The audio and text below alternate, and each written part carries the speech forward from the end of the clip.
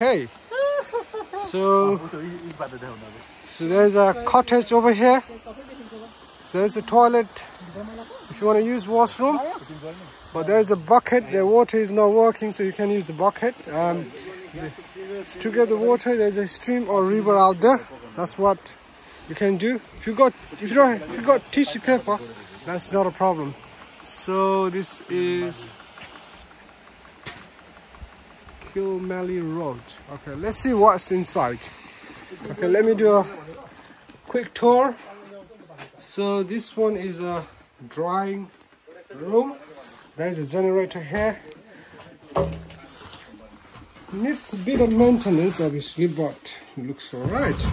Let me go inside. What you can see here, there's a ladder um, and hangers, you know, where you can hang your clothes, your wet clothes. Uh, so we have generators with the keys here. It's tools you know the tools that you can use. So this one is called princess room. Why is it called princess room? Interesting. Let me go inside and find out. So you got bunk beds with mattresses on. It looks in good condition to be honest. You know in worse condition if you you're camping outside if there's a gusty wind if you want to take shelter i think this one location is perfect you know. You know so there's a plate probably someone was here before uh, you know they left it as okay. That's prince charles i mean king his majesty king charles when he was young. So i don't know if he was inaugurated by him, but I think he visited this site. Steall cottage renovated by club members. Oh, okay, so all the volunteers did it back in 2013. But it still looks, it's in good condition. You know, you got some timber here. And what is here? Okay, this is a dining table. You got like two solid tables and uh, you know benches. So Steall cottage glen nevis circa oh that was around 1940 oh that's how it looked back then. Wow. Courtesy foot courtesy by bill wallace. It's a young man out there. So what does it say? Here uh, let's go and find that. Oh that's a carbon monoxide. It's a safety you know instruction out there.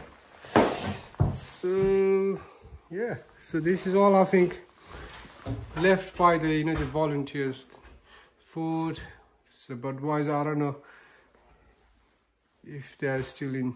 Use i think that looks like spot but if you guys are here in desperate situation you can i think make use of these utensils. I don't know if it's the rex litter you know by a rodent or i don't know if it's a bird but looking at this place possibly there might be a rat but I, but in I don't think so there's any running water but there are plenty of plates cooking utensils kettle but yeah but looking at it it looks like it hasn't been used for a very long long time so what's up there? Let's go upstairs. Um, it's all wooden stairs.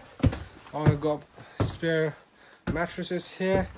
I think the bird seems to be littering here as well but looks nice. Natural sunshine there's a window out here. There's another one here. What's here? So there's another room as well. It's like a it's an attic anyway but good it's quite warm inside. Obviously it's almost end of the june but i like it you know. There's a ladder i think probably that one is there. When you need to repair roofs and all other stuff you know. So yeah fantastic. That's a nice tour five minutes tour